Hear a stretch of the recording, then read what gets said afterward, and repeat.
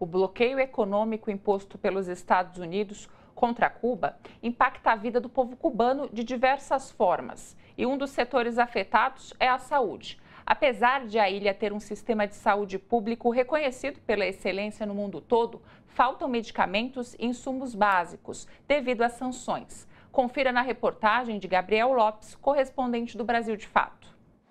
Por mais de 60 anos, os Estados Unidos mantêm uma política de bloqueio contra Cuba.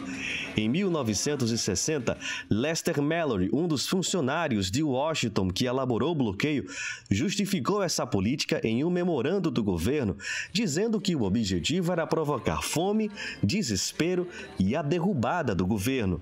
Apesar das constantes críticas da ONU realizadas por mais de 30 anos, a Casa Branca não mudou sua política. A saúde na ilha é um dos setores afetados. Eh, porque sencillamente el bloqueo eh, es, un conjunto de medidas que impide o que dificulta a que el Estado cubano, a que el pueblo cubano puedan tener acceso a diferentes eh, elementos que le hace falta para vivir. En este caso, el sector de la salud, el bloqueo dificulta al sector de la salud para tener acceso a diferentes tipos de insumos médicos, de medicamentos de elementos, de materiales que nosotros utilizamos el día a día para poder ayudar a nuestro paciente, para poder curar a nuestro paciente, para poder salvar la vida de nuestro paciente. El tema es que el bloqueo a veces nos dificulta y nosotros perdemos pacientes, se muere paciente, el pueblo agoniza por sencillamente esa política injusta que está eh, vigente hace más de 50 años.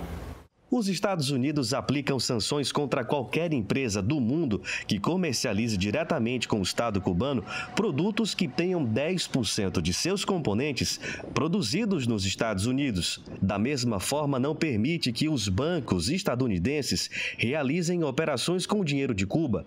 Isso dificulta o acesso da ilha ao comércio internacional. De acordo com estimativas da ONU, essas medidas geraram perdas de 13 milhões de dólares por por dia para o Estado cubano. Eh, en mi especialidad, eh, nosotros tenemos diferentes tipos de pacientes, determinada patología que nosotros sabemos que necesitan de ciertos medicamentos, necesitan de cierto eh, aparato o instrumento para poder eh, vivir. Eh, eh, muchas de las veces, debido al bloqueo, las empresas farmacéuticas o las empresas que fabrican esos insumos médicos no lo venden directamente al, a, al Estado cubano por miedo a las sanciones y a todas las consecuencias que eso implicaría. eso nosotros estamos hablando de pacientes que necesitan de esos medicamentos, que necessitam esse instrumento médico porque sencillamente é uma questão de vida ou de morte. O governo dos Estados Unidos justifica sua política argumentando que o bloqueio busca afetar o governo cubano e não sua população. Mas na prática, o bloqueio significa um castigo coletivo, o que é uma violação da lei internacional.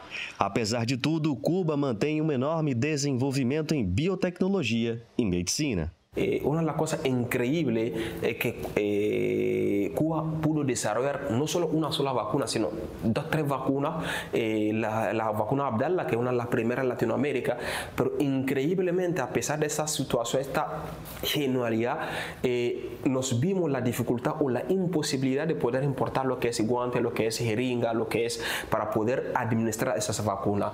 Es sencillamente un ejemplo de que el pueblo cubano trata de hacer mucho más con muy pocos recursos, pero el bloqueo todos los días, todos los instantes, nos está costando trabajo, nos está costando vida, eh, nos está haciendo la vida sencillamente mucho más difícil.